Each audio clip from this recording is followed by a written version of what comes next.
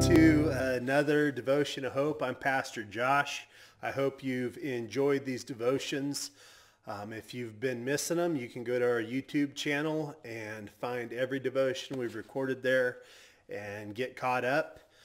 Uh, during this time, we've been trying to be very encouraging with our devotions of hope. And so uh, today, our devotion of hope is titled Undefeated.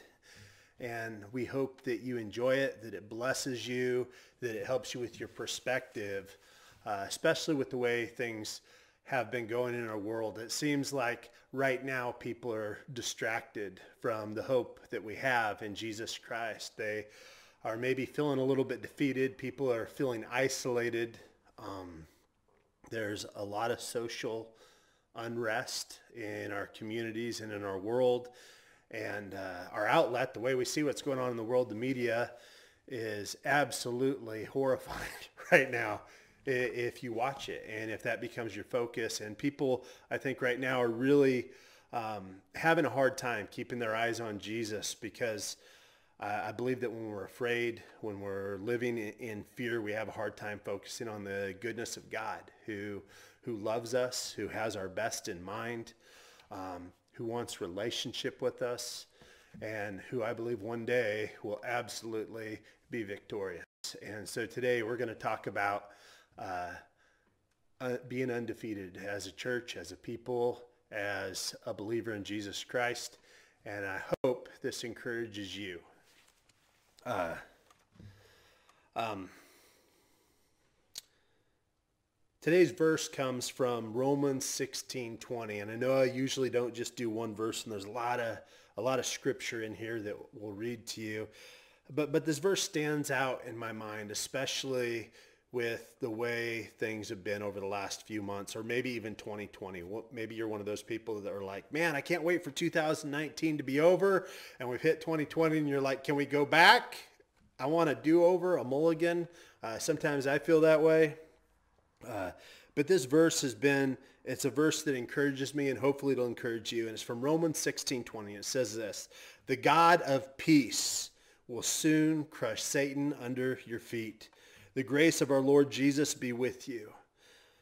I, I need that sometimes. There, there are times that I can start to feel defeated, but in the end, I know that that's not true. God is victorious. God is capable. God is the God who wins. This verse is a reminder that in the end, in the end, we win. We are not a defeated church. We are a getting ready church. We are getting ready for Jesus to come back. We're getting ready for God to do more than we can possibly hope or imagine. We're getting ready to move to the places that God is calling us to. We know that our God is God who keeps his promises. The problem for us is we don't really know when the God of peace is going to crush Satan under our feet. And soon for us is sometimes not soon enough growing up, I was always taught that things are going to get worse. And when they do, Jesus is going to come and rescue us because ultimately the church, the body of Christ, is going to be ineffective in its mission to join Jesus in his work of redeeming creation. This doesn't sit well with me. It doesn't really line up with the message of the kingdom of God. I try to talk about things that I believe throughout the year, and even though uh, we're not in the Advent season. I think that today is a great day to talk about what we believe and what I believe about the direction that things are heading from the time that I've spent in God's Word and in prayer. That in the end, we win. And I think we can all, every believer in Jesus Christ can agree on this part. In the end, we win. Uh, I've been told that I'm a, a pan-millennialist. Uh, Christ is coming again and it all pan out in the end. Uh, some people might wonder why I don't spend more time speaking about the subject of eschatology and more specifically the second coming of Christ. And the reason is we really don't know the specific details surrounding his return. What we do know is that he's coming and that we're supposed to be ready and that we're supposed to work until he gets here. So, so those are the things we know for sure. He's coming. We're supposed to be ready when he comes, and we're supposed to work until he gets here. And I know soon in our verse might not seem soon enough, but God is already crushing Satan under our feet. Sin can be defeated in our lives. We are to be victorious as a people. Our message of hope is a message about an undefeated kingdom. It's a kingdom gospel. The gospel of the undefeated kingdom is a great message. So if we read the whole uh, book of Romans um, in our whole letter, it's this, it's this message to a church in Rome. And Paul's talking about wanting to visit them soon. He has been planning the trip and eventually gets to Rome, but it's not the way he intended to get there. He's under guard, but has freedoms, kind of like, kind of like house arrest. Uh, you know what Paul does when he gets to Rome? Claims the kingdom of God and he taught about Jesus. Looking at Acts 28, it says this, they arranged to meet Paul on a certain day and came in even larger numbers to the place where he was staying. He witnessed to them from morning till evening, explaining about the kingdom of God from the law of Moses and from the prophets and tried to persuade them about Jesus. That's in Acts 28. It also tells us for two whole years Paul stayed there in his own rented house and welcomed all who came to see him. He proclaimed the kingdom of God and taught about the Lord Jesus Christ with all boldness and without hindrance. And that's Acts 28, 30, 31. In Acts, Paul is declaring the kingdom of God as something that has already come. What I find really sad about some of the most popular thoughts of today in eschatology is that they seem to be based on the thoughts and writings of men instead of on the Word of God. Many people um, in the church have taken words of fiction and treated them as though they are gospel.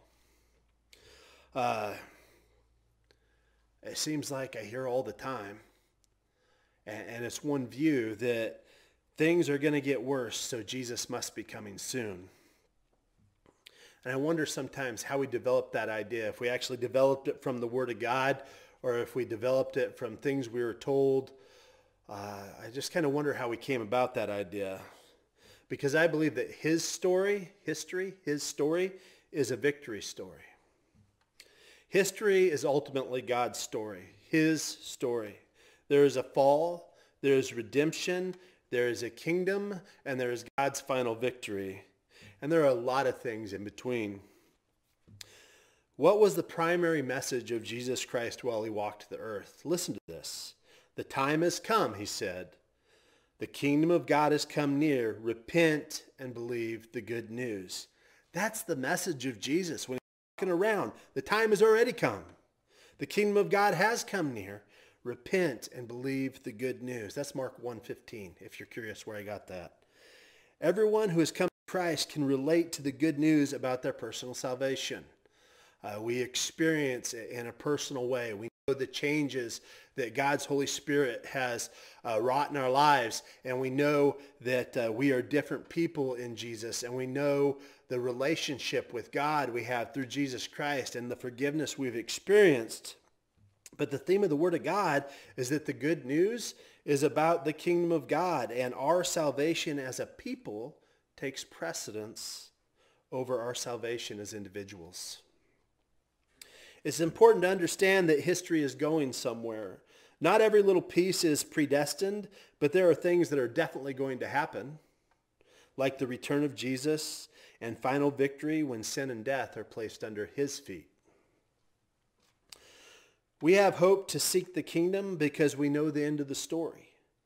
When Jesus came in the flesh, he brought the kingdom of God with him, saying, Truly, I say to you, there are some of those standing here who will not taste death before they see the Son of Man coming in his kingdom. He's talking about the apostles right there. We know that he is seated at the right hand and reigning at the right hand of the Father right now. I believe his kingdom will grow, not diminish within the confines of history through the power of the Holy Spirit and the preaching of the gospel. Every Christian believes that the end of history, Jesus is victorious. At the end of history, Jesus is victorious. We all believe that. The difference is that I believe that Jesus' kingdom his reign and his final victory will happen within Earth's history. During Advent each, each year, we read Isaiah 9.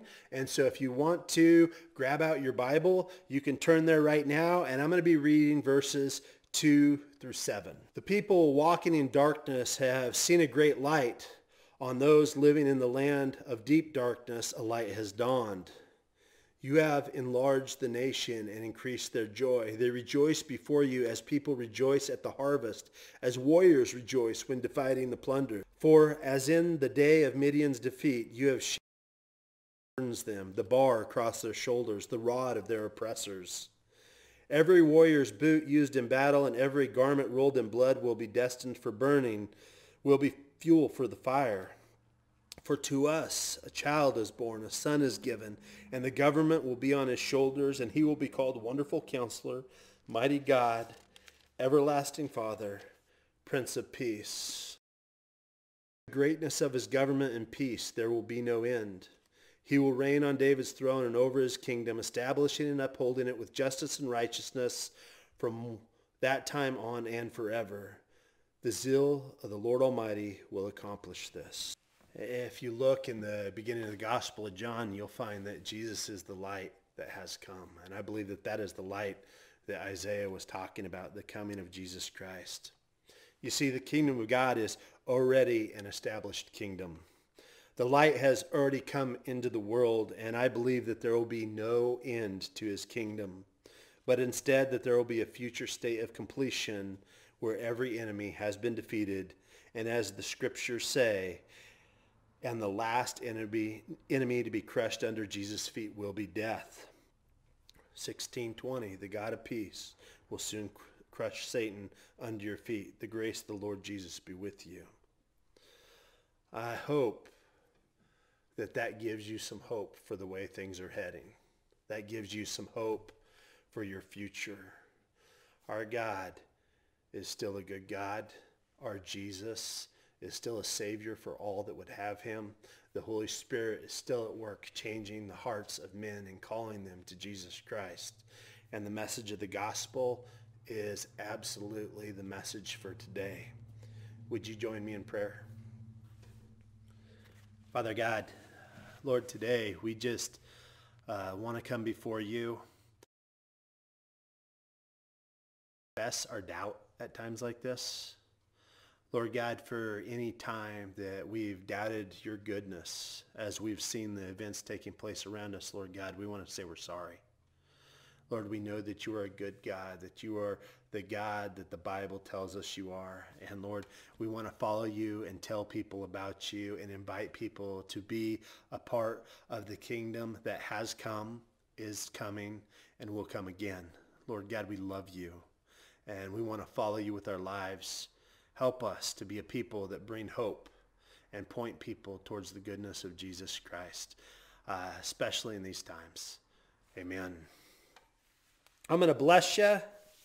Um, this is a Jesus benediction when he's sending the people of the kingdom out to do kingdom business. I'm going to bless you with that today. If you want, you can extend your hands to receive the blessing. That's what we do on a Sunday.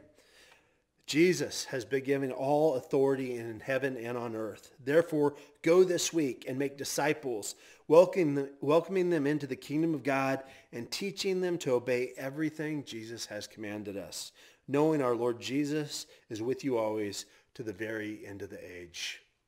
I hope you've enjoyed this devotion of hope today. Uh, feel free to leave us messages or comments. We love hearing from you, and we'd love to uh, uh, be able to keep communicating with you and being in contact with you every way we can. This is Pastor Josh signing off. I love you guys, and I'll see you soon.